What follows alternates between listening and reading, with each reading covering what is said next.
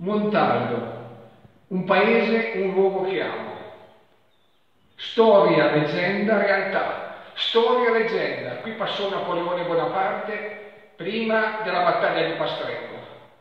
In un pianoro proprio qua vicino, mise le sue truppe, fece l'accampamento. Alcuni generali si ammalarono di polmonite. L'aria buona. E chissà, un pozzo che esiste ancora dove attingere l'acqua, fecero un mezzo miracolo. Tutti i generali guarirono. Magari chissà, questo determinò la vittoria nella battaglia di Pastrengo. Oggi Montaldo, i suoi abitanti chiamano, i suoi dipendenti chiamano. Cosa deve fare un sindaco? Prima di tutto garantire la salute ai propri dipendenti e ai propri cittadini. E allora vai, il paese è pieno di indicazioni su cosa si può o cosa non si deve fare per battere questa epidemia che trasformerà anche il nostro mondo di rapportarci, il nostro mondo di lavorare. E allora, primo paese nel Chiarese e probabilmente fare i primi in Piemonte, abbiamo distribuito le mascherine a tutti i capi famiglia e lì è venuta fuori una solidarietà dei montaldesi, forse perché in un paese qua vicino è nato Don Bosco. E allora non mi ha stupito molto se qualche capofamiglia ha rifiutato di prendere la mascherina, dicendomi tagliala, Sergio, a chi ne ha più bisogno di me.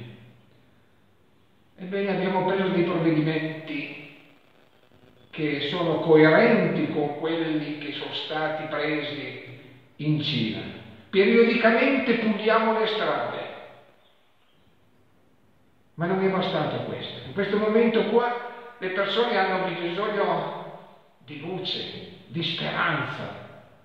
E allora abbiamo acceso le luci di Palazzo Civico per due giorni di seguito, ripeteremo questa illuminazione, perché la luce il più alto segno di speranza. Ci chiamano sindaci sentinelle, ma la sentinella se sola può fare poco.